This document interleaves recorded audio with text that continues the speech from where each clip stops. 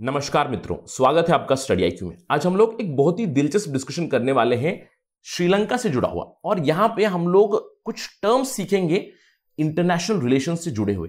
ये आप आर्टिकल देख सकते हो ओआरएफ का बैंड वैगनिंग विथ चाइना तो। आज हम लोग पहले जानेंगे कि बैंड वैगनिंग क्या होता है, इसका काउंटर पार्ट क्या है, और ये जो श्रीलंका की कंटेनर टर्मिनल की पॉलिटिक्स चल रही है ईस्ट कंटेनर टर्मिनल के ऊपर, जहाँ से उन्होंने इंडिया और जापान दोनों का भी हटा दिया है, इसके ऊपर थोड़ी बातचीत चलेगी, और इन जनरल हम लोग बात करेंगे बैंड वैगनिंग के ऊपर। तो बहुत ही इंपॉर्टेंट आर्टिकल होगा, अगर आप पॉलिटिकल साइंस बैकग्राउंड से है this is going to be fodder for you for answer writing in general भी काफ़ी नई चीज़ें आपको सीखने को मिलेंगी। ये आर्टिकल लिखा गया था असंगा अबे गुणसेकर जो एक्सपर्ट हैं श्रीलंकन जियो और श्रीलंकन सिक्योरिटी से जुड़े हुए, वो कुछ प्रिस्क्रिप्शन भी देते हैं श्रीलंका को, जो हम लोग एंड में देखेंगे। तो let us begin our discussion लेकिन उससे पहले, मैं हूँ आपका दोस्त राहुल सायगांवकर। अगर आप मुझे फॉलो करना चाहते हो can follow me on the IDs that are given here इसके अलावा स्टडी आईक्यू आपके लिए स्मार्ट कोर्स लाया है। अगर आप यूपीएससी 2021 के लिए प्रिपेयर कर रहे हैं तो please download the app to know more about this particular programme and don't forget to hit the bell icon subscribe to our channel study IQ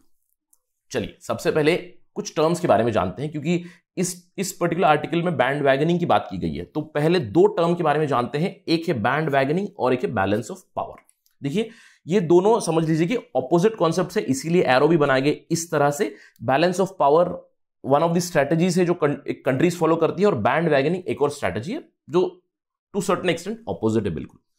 band wagoning का मतलब क्या है? अगर आप इसका डिक्शनरी मीनिंग देख लीजिए बैंड वैगनिंग मतलब सिंपल टर्म्स में अगर कोई फ़ैशन चल रहा है, जैसे समझ लीजिए आपने एक मूवी देखी है जहाँ पे किसी हीरो ने, सलमान खान ने कोई नई तरह की शर्ट पहनी है तो बैंड वैगनिंग इफ़ेक्ट क्या होगा कि वो एक ट्रेंड बन जाएगा और आप उस बैंड वैगन को फॉलो कर देंगे, आप भी उस तरह की शर्ट खरीदोगे, आप भी उस तरह की फ़ैशन स्टेटमेंट दोगे। That is basic bandwagoning. यानी कि आप किसी और को फॉलो करोगे। That is the basic understanding of bandwagoning. और अगर हम लोग इंटरनेशनल रिलेशंस की बात करें देखिए इंटरनेशनल रिलेशन में बैंड वैगनिंग क्या होता है कि एक देश के पीछे आप फॉलो करोगे। सिंपली कि आपसे भी जो स्ट्रॉन्गर रहेगा और आपका एडवर्सरी भी हो सकता है। तो आप उनको फॉलो करोगे, आप कंसीड करोगे कि वो स्ट्रॉन्गर पार्टनर है और अगर दोनों मिलके कुछ कर रहे हैं या फिर दोनों मिलके कुछ, कोई टेरिटरी कॉन्कर कर रहे हैं, कुछ एटसेट्रा कर रहे हैं तो वहाँ पे बड़ा शेयर होगा उस पावरफुल नेशन का। तो बैंड वैगनिंग यहाँ पे क्या हुआ? Sri Lanka bandwagoning behind China and it is not just one person मैंने कहा कि बैंड वैगनिंग क्या होता है कि अगर सलमान ने एक शर्ट पहनी है और उनके फैंस उनको फॉलो कर रहे हैं तो इसका मतलब बहुत से लोग हैं जो बैंड वैगन इफ़ेक्ट में जा रहे हैं और फॉलो कर रहे हैं। सिमिलर कॉन्सेप्ट है कि चाइना के पीछे बहुत से लोग बैंड वैगनिंग कर रहे हैं और मैक्सिमम इंडिया के नेबर्स है ही who are bandwagoning behind China अब बैंड वैगनिंग का ऑपोजिट क्या होगा? एग्जाम्पल्स मैं आपको दे सकता हूँ, कौन कौन फॉलो कर रहा है। जैसे पाकिस्तान हो गया Myanmar to certain extent Bangladesh to certain extent Sri Lanka is obviously there अब इस बैंड वैगनिंग का ऑपोजिट क्या होगा? बैलेंस ऑफ़ पावर देखिए बैंड वैगनिंग में अगर मैं कमज़ोर पार्टी हूँ तो मैं फॉलो कर रहा हूँ चाइना को। लेकिन बैलेंस ऑफ़ पावर में क्या होगा? दो पार्टीज़ के बीच मैं पावर बैलेंस करने की कोशिश करूँगा। यानी कि मैं अपनी ताकत दूसरी जो देश है या दूसरी ताकत है, उसके साथ मैच करने की कोशिश करूँगा। That is called balancing the power और बैलेंस ऑफ़ पावर कैसे करेंगे? इसके दो विकल्प होते हैं किसी भी देश के पास। एक विकल्प होता है इंटरनल बैलेंस करना। इंटरनल बैलेंस मतलब समझ लीजिए चाइना के पास सौ हथियार है।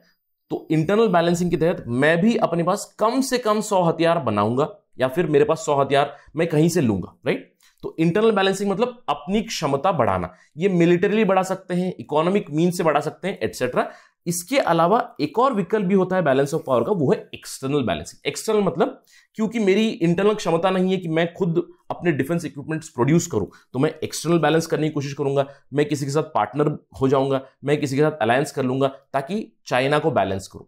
तो बैलेंस ऑफ़ पावर केवल दो देशों के बीच नहीं, दो गुटों के बीच भी हो सकता है राइट तो बैंड वैगन मतलब आप एक देश के पीछे जा रहे हो बैलेंस ऑफ़ पावर मतलब आप कोशिश कर रहे हो कि दूसरे देश के साथ मैच करें.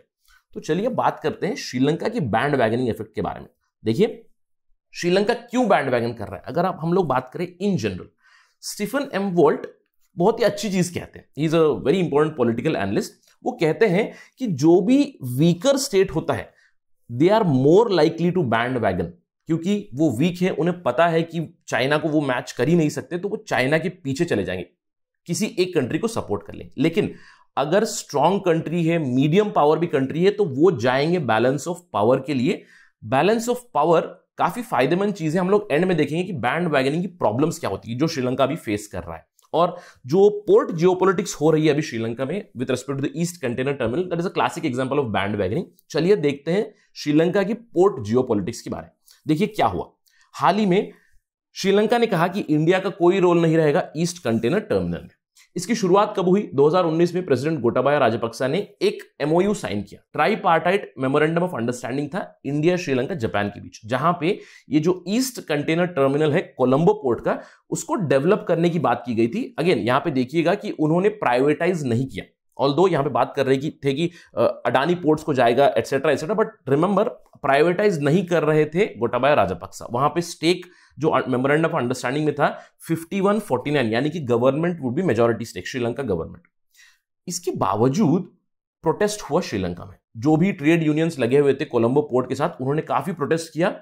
उन्होंने कहा कि इंडिया के साथ अब क्यों कर रहे हैं? हम नहीं चाहते कि ये प्राइवेटाइज हो एटसेट्रा एटसेट्रा और इस प्रोटेस्ट की वजह से एटलीस्ट श्रीलंका ये कहता है कि यूनियन जो ट्रेड यूनियंस थे, उनकी प्रोटेस्ट की वजह से हम लोगों ने डील कैंसिल किया है। और इसके बदले में we do know that Sri Lanka ने ऑफ़र किया है इंडिया को वेस्ट जो कंटेनर टर्मिनल है। अब इसके अलावा जो मेन कंटेनर टर्मिनल है, उसको कंट्रोल करते हैं पूरा चाइना ये तो हमें पता है, ठीक है? अब किस तरह की जियो हो रही देखिए पोर्ट के ऊपर इंडिया और जापान को इन्होंने साइडलाइन किया है ऑल इंडिया जापान मिलकर 49 परसेंट स्टेक ही रख सकते थे ईसीटी में। लेकिन 2017 में क्या हुआ? श्रीलंका ने निन्यानवे साल के लिए हम्बनटोटा पोर्ट को लीज कर दिया चाइना को। यानी कि पूरा पोर्ट ही समझ लीजिए चाइना का है अभी।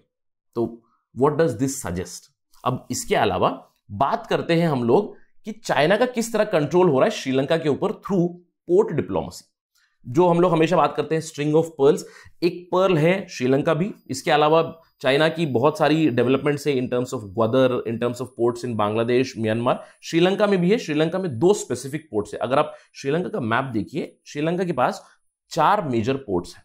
अब उसमें से एक है पोर्ट ऑफ़ कोलंबो और एक है पोर्ट ऑफ़ हम्बन टोटा और इन दोनों पोर्ट्स के ऊपर कब्जा है चाइना का।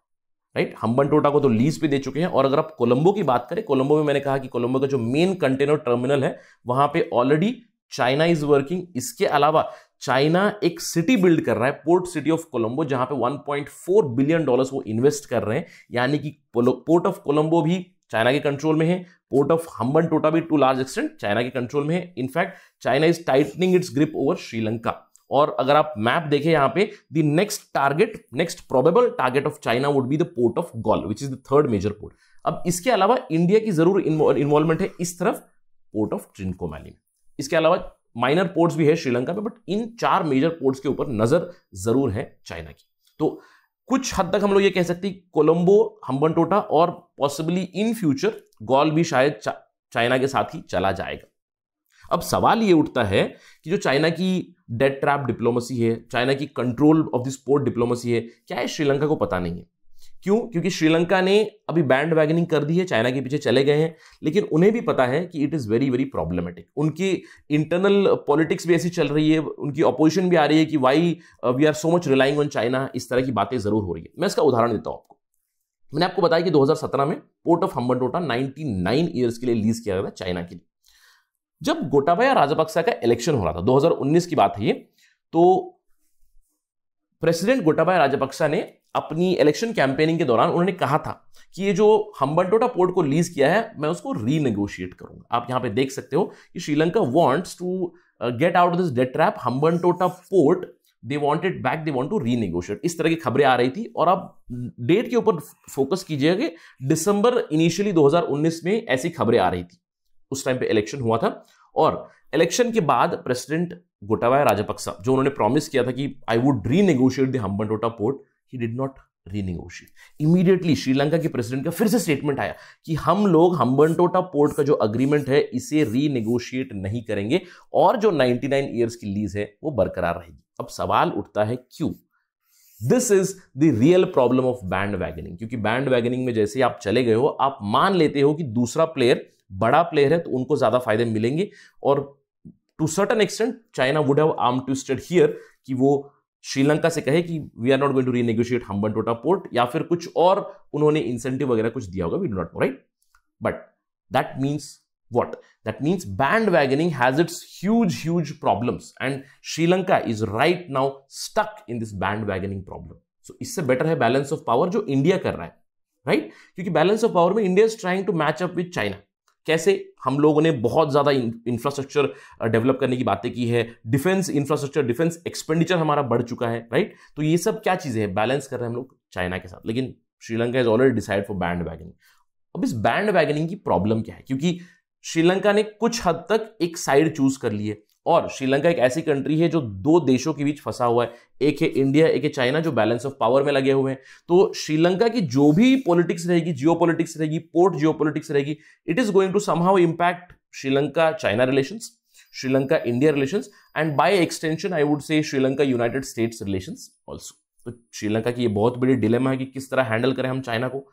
इसके अलावा, अभी आने वाले महीनों में यूएनएचआरसी की मीटिंग मीटिंग होने वाली है ह्यूमन राइट्स जो काउंसिल है उसकी मीटिंग होने वाली वहाँ पे Sri Lanka would be answerable for the war crimes on Tamil minorities तो श्रीलंका के ऊपर काफ़ी प्रेशर है, श्रीलंका के ऊपर काफ़ी ऑब्जर्वेशन है। अब इन सब चीज़ों के बीच मैंने आपको बताया था कि आर्टिकल लिखा था असंगा अभय गुणशेखर ने। जो श्रीलंका जियो और इंटरनेशनल सिक्योरिटी के एक्सपर्ट हैं, वो श्रीलंका को एक प्रिस्क्रिप्शन देते हैं। वो कहते हैं कि Sri Lankan government must go for recalibration as soon as possible वो कहते हैं बैंड वैगन जो उन्होंने किया है चाइना के पीछे it is rather counterproductive in the long run and that is why it it is better to go for balance अब बैलेंस कैसे करेंगे? बैलेंस जैसे मैं कह सकता हूँ कि एग्ज़ाम्पल है टिपिकल बांग्लादेश का। Bangladesh is balancing it very decently क्योंकि बांग्लादेश के अच्छे रिलेशन है इंडिया के साथ भी और चाइना के साथ भी। और वो अपनी स्ट्रेटेजिक इकोनॉमी इस तरह यूज़ कर रहा है कि they are getting benefits both from China as well as India so this is nothing but trying to balance and not bandwagoning behind one big player so that is the prescription by Asanga Abhay Gunasekara. That is it from my side on this part of discussion thank you for watching Jai Hind.